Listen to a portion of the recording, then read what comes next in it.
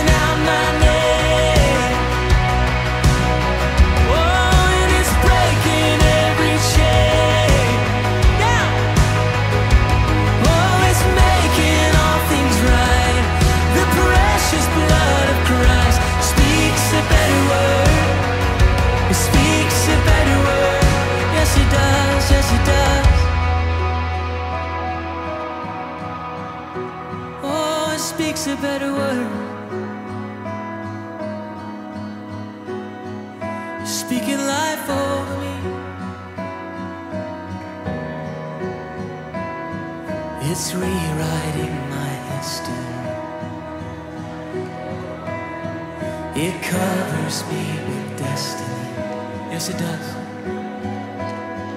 It's making all things right. The precious blood of Christ. It's rewriting my history. Yeah, yeah. It covers.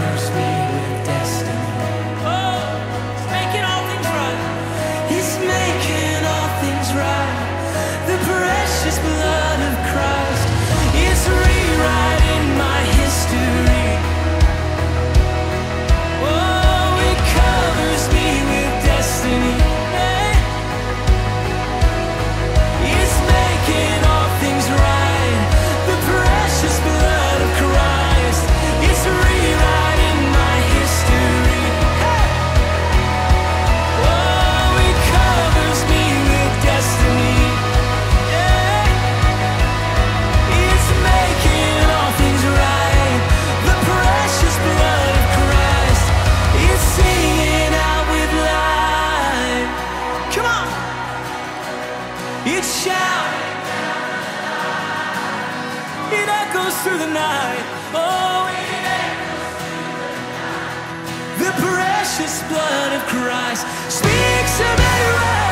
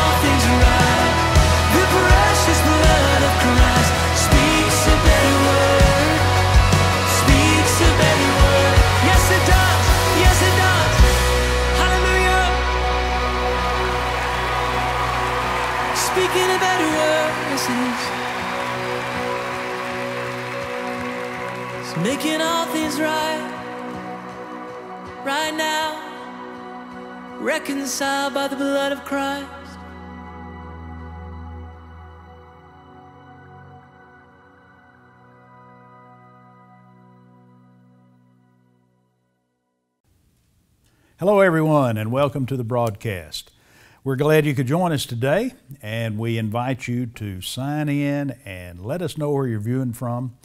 You may know someone else who needs to hear the Word of God today, someone else who's going through a struggle or a situation. Invite them right now to tune in so that they can hear the truth of God's Word. And when you know the truth, Jesus said, the truth would make you free.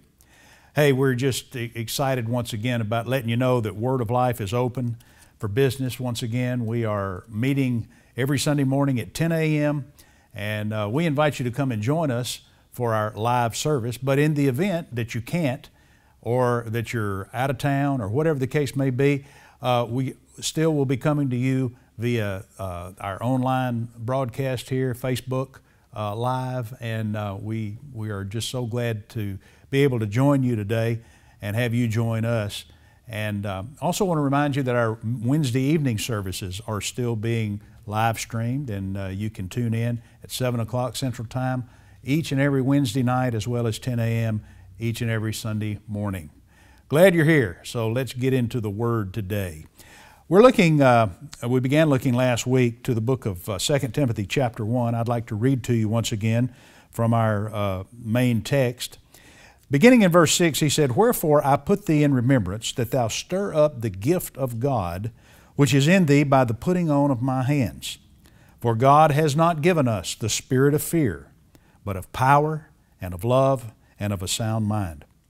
Be not thou therefore ashamed of the testimony of our Lord Jesus, nor of me his prisoner, but be thou partaker of the afflictions of the gospel according to the power of God who has saved us and called us with a holy calling, not according to our own works, but according to His own purpose and grace, which was given us in Christ Jesus before the world began.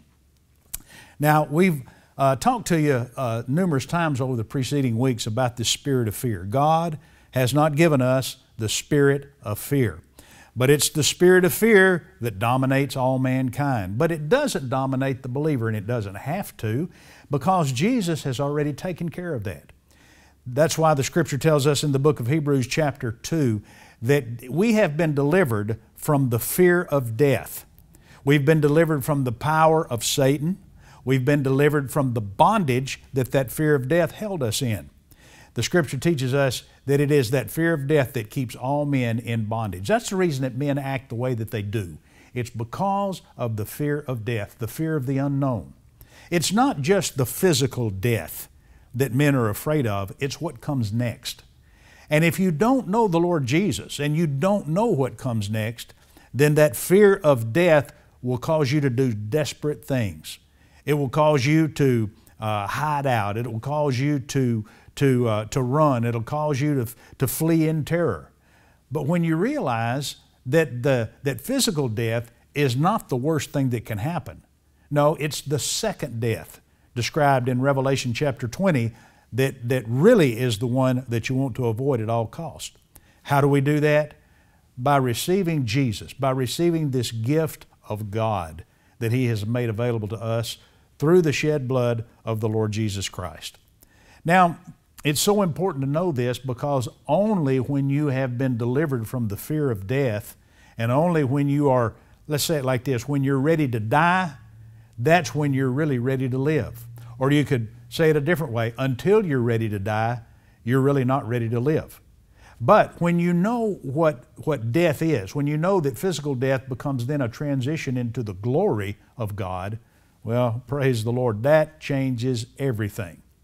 And so the, the, the, the Apostle Paul says to us, the Holy Ghost says to us here in 2 Timothy chapter 1, that God has not given us the spirit of fear. No, by, by virtue of, of the blood of Jesus, we've been delivered from that spirit of fear.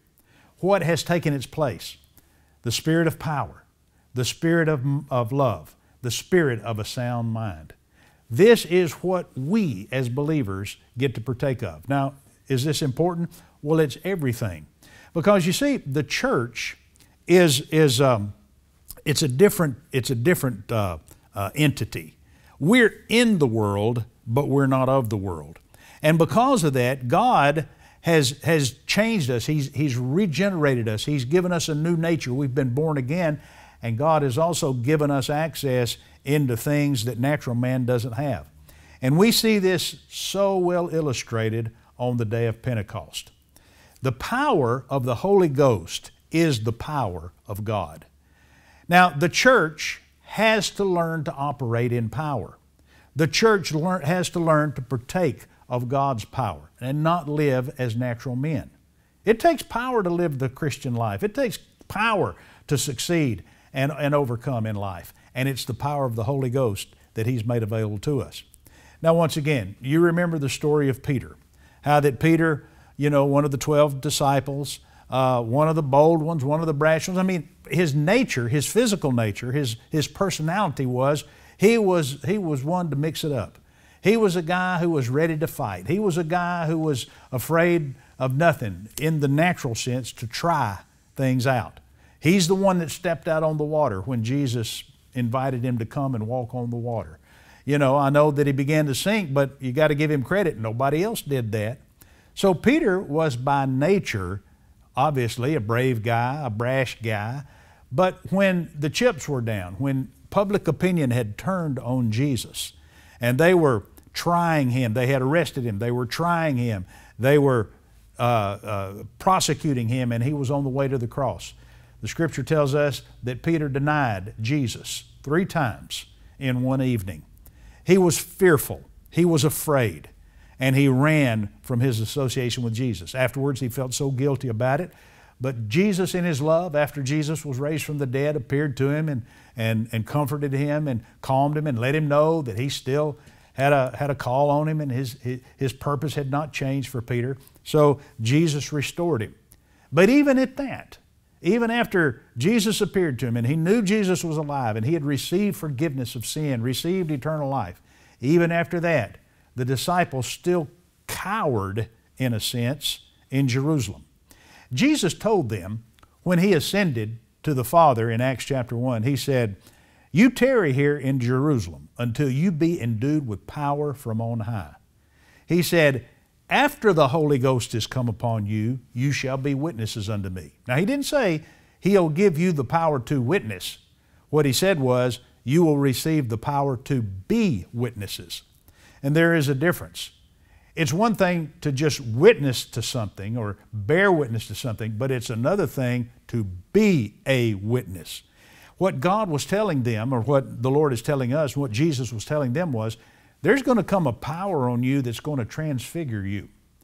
It's going to transform you from the fearful, fallen nature of man that everybody partakes of into a dynamo, into a powerhouse for God.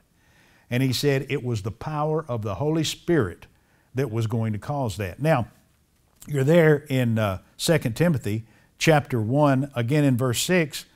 The first thing that we read here was I put you in remembrance that you stir up the gift of God, which is in thee by the putting on of my hands. Now, that word gift is the Greek word charisma. It's where we get the word charismatic from. You know, in the, in the church world, uh, the church is categorized according to beliefs, and there's the mainline denominational church, and there's the, uh, you know, the, the, the high church and so forth, but many are referred to as charismatics. That's where this that's, that's where that name comes from, this word. It's the word for gifts, and specifically gifts of the Spirit. 1 Corinthians chapter 12 talks about these spiritual gifts. And what it's referring to is an empowering of the Holy Ghost in the believer's life. A power that natural man doesn't have. A power that natural man doesn't have access to. So, what he's explaining to us is that the church, the believer, has the ability to walk in a realm that the unbeliever does not have access to. Why? Because through the blood of Jesus, we have access into this grace of God. We have free access into the presence of God.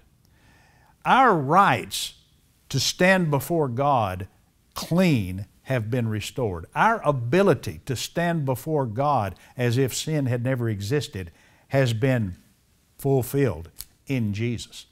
And now then, God says, That's great. You're clean. we ha- we have a relationship.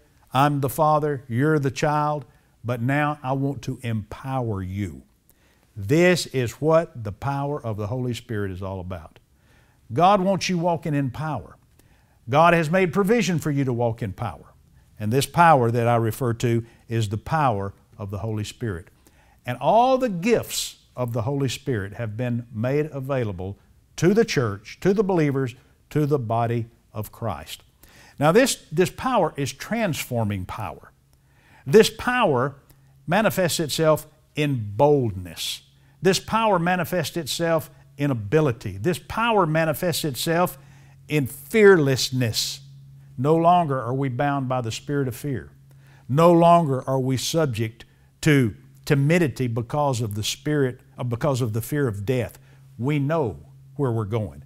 We know what the future holds.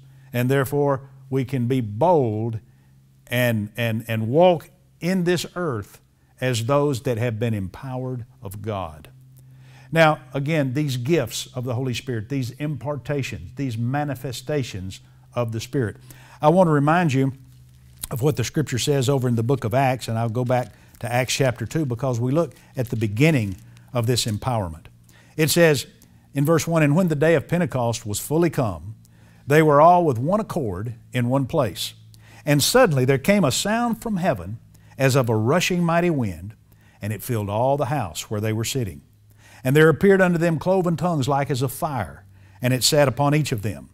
And they were all filled with the Holy Ghost, and began to speak with other tongues as the Spirit gave them utterance. Now, the Scripture says not only did they speak in other tongues, but it demonstrates this transformative power of the Holy Ghost on the believer.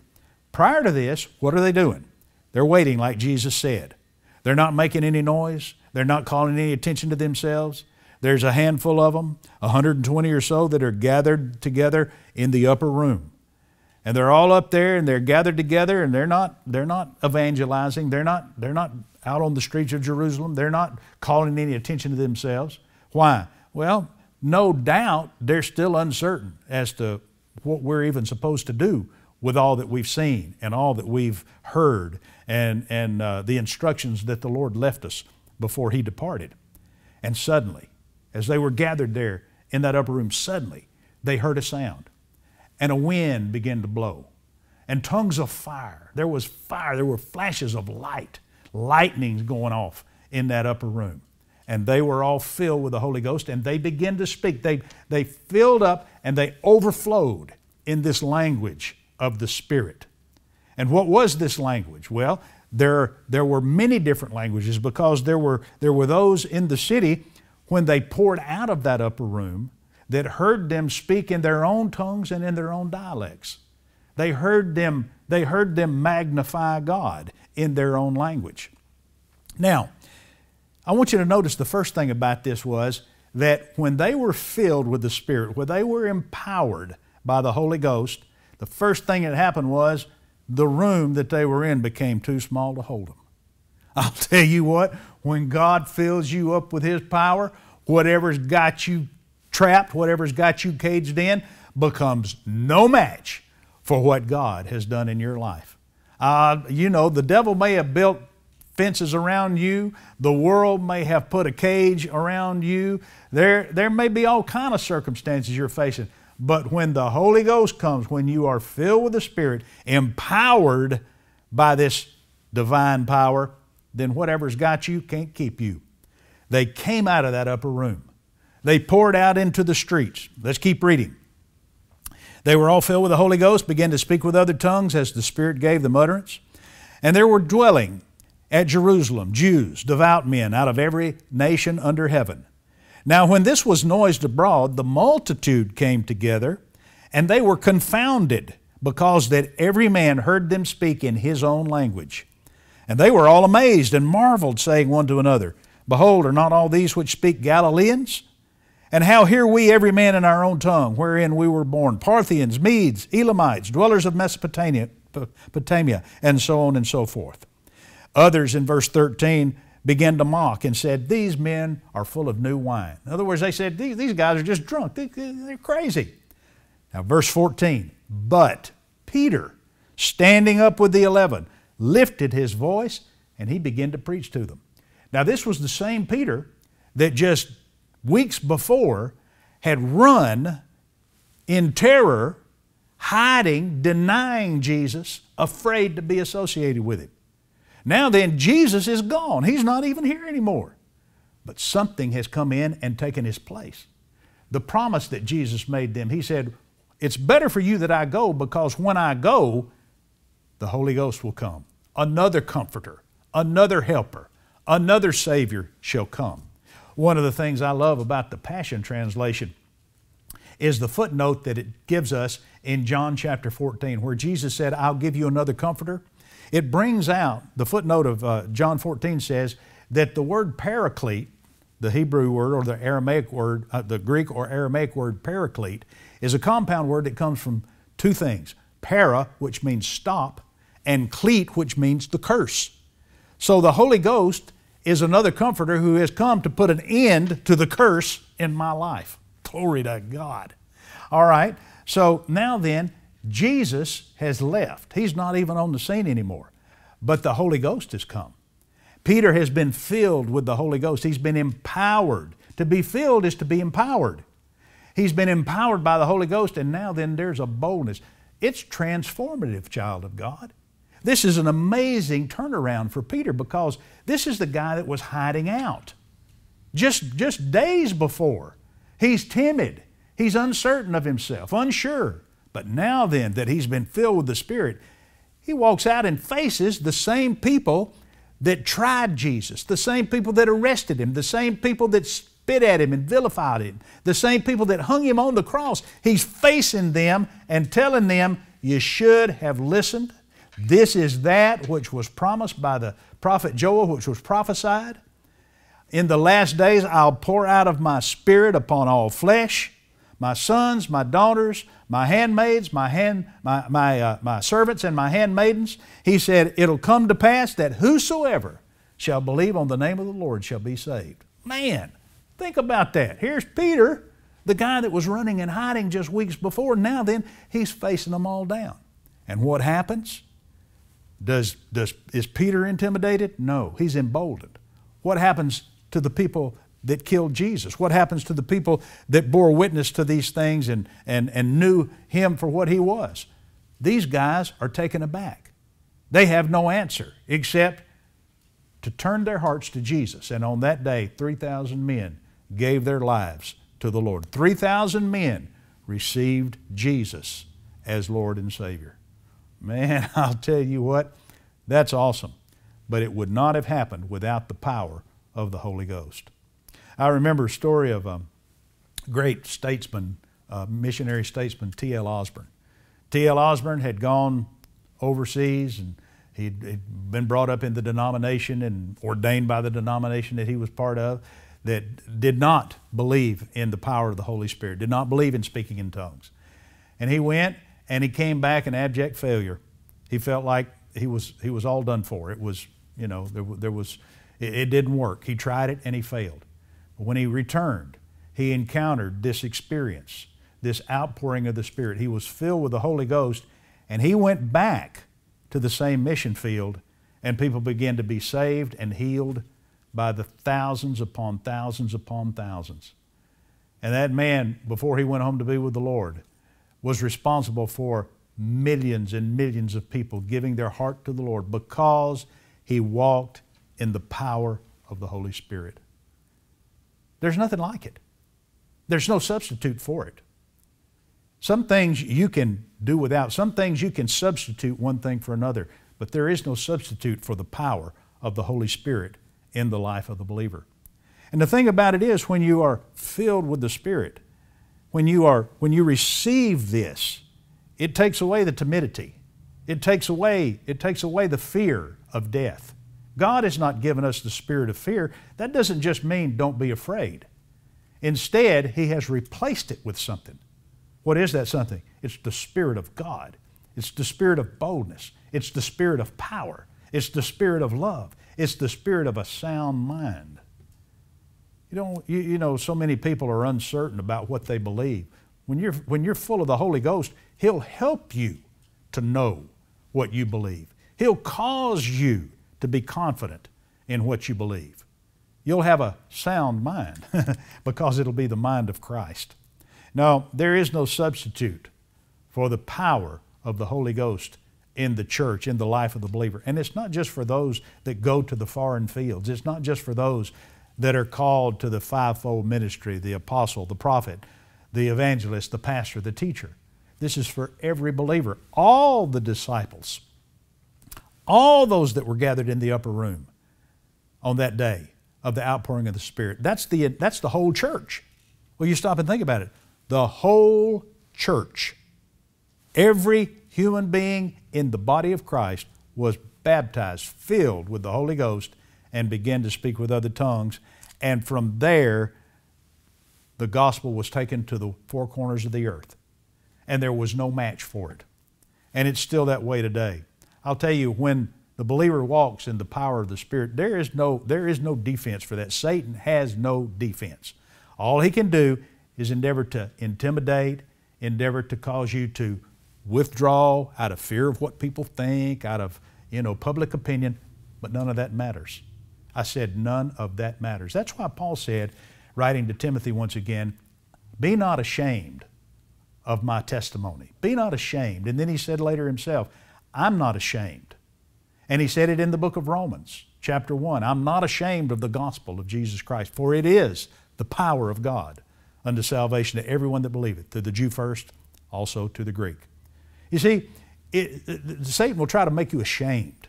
He'll try to make you ashamed of who you are. He'll try to make you ashamed and make you feel like, well, you don't fit in, or they think you're weird, or, or, or, or whatever. Don't worry about all that. Don't worry about that at all. You're not weird. You're born again. You're empowered, and you'll always be a threat to the kingdom of darkness. You might as well embrace that power, and you might as well tap into it at every opportunity. And how do you do that? Well, once again, the church was born of the Spirit of God, and it began with the infilling of the Spirit and speaking with other tongues, and that same pattern is true today. Tongues gives you access. Speaking in tongues gives you access into all the power of the Spirit. And in these days of lockdown and these days of quarantine, I hope that you have taken the opportunity to spend extra time praying in the Holy Ghost building yourself up, taking every opportunity to pray in the Spirit, because in doing so, you energize yourself, you charge yourself. Spiritually, like a battery, you charge yourself up. So, once again, we see the contrast in 2 Timothy chapter 1. God has not given us the spirit of fear, but of power, of love, and of a sound mind. So, if you are fearful, then you're probably not praying in tongues enough. If you're sad and depressed, then you're probably not praying in tongues enough, praying in the Spirit enough. If you're tired and listless, the answer, the cure for that is pray in the Holy Ghost. You see, there's a spiritual energy that transcends or trumps physical energy. You, you got to take care of your body. You need your rest. But the Bible tells us that speaking in tongues brings rest. It brings an, an, an, an infusion of life and power. So take the extra time to pray in the Holy Ghost. We were born, as the church world I'm talking about, we were born into power. Don't ever become powerless. Now understand, feeling powerless is not being powerless. It doesn't matter how you feel. What's important is that you recognize, acknowledge, and embrace the power of the Holy Ghost in your life. Just say it out loud. I'm filled with the Spirit and I'm filled with His power. God has not given me the spirit of fear, but, the, but of power and of love and of a sound mind. Embrace it. Don't be ashamed of it. One, one translation of ashamed or one definition of ashamed means to dishonor. It doesn't mean like to be embarrassed about it necessarily, but it means to dishonor it. Don't dishonor the power of the Spirit. Don't dishonor the fullness of the Spirit. Don't dishonor the gift of the Holy Ghost, the charismatic impartation, speaking in tongues. There are other gifts of the Spirit, but that is the doorway. That is the access road into all the gifts and the power of the Holy Ghost. Well, I hope you've enjoyed it today. I've sure enjoyed bringing it to you. I've gotten pretty excited and stirred up myself, and I want to take this opportunity in the Spirit of God and in the power of God to pray for you. If you've never made Jesus Lord of your life, it's as simple as asking Him to come in and take control. Don't be fooled by religious notions or concepts. Simply receive the gift of God. Acknowledge Jesus Christ as the one who died and rose again to set you free. And then call upon Him to be Lord of your life. Simply say it like this Lord Jesus, I believe that you bore my sin and that you were raised from the dead to give me life. And I invite you into my life right now. I believe that I receive the eternal life of God because of what you've done and the gift that you've made available to me. It's as simple as that. If you prayed that prayer, I want you to let us know that. There's a button on the online platform. You can click it that says, I receive Jesus. I've received that eternal life. Let us know you have so that we can celebrate with you. And for all the rest of us, let's keep in mind this power extends to every area of our life. 3 John, verse 2 tells us, Beloved, I wish above all things that you would prosper and be in health, even as your soul prospers. So I decree prosperity and healing and health over you right now in the name of Jesus. Sow a financial seed. Plant that seed in the work of God. Tithe. Watch God take the seed that you sow and multiply it back into your life. Now, I just, I just sense in the Spirit somebody's hip is being healed right now. God's moving in the area of hips and bones and joints, particularly in this, in this uh, the, the mid region, you know, the, the abdominal area. If you've got any kind of hip problem or any kind of bone or cartilage or, or I, I don't know, I just, I just sense that, that warm touch of God in this area. And I know that He's ministering to you right now, wherever you are. Hey, if that's you, uh, let us know. Text us, message us right there, and let us know healing is flowing into my body in the name of Jesus. I'll tell you what, it's as simple as that. They says, Well, I never heard of anything like that before. God's got a lot of things you hadn't heard of before. The, the beauty of it is the power of the Holy Ghost is bigger than you'll ever be able to get your mind around. So just go ahead and receive it and let God show off in your life. Child of God, we've enjoyed being with you today. Hey, join us this Wednesday night at 7 o'clock p.m. We'll see you online once again. Next Sunday again at 10 a.m. And until then, I bless you. I just encourage you. Have a great week. Just go ahead and make it a great week in Jesus' name. And remember, there's power in the Word of God.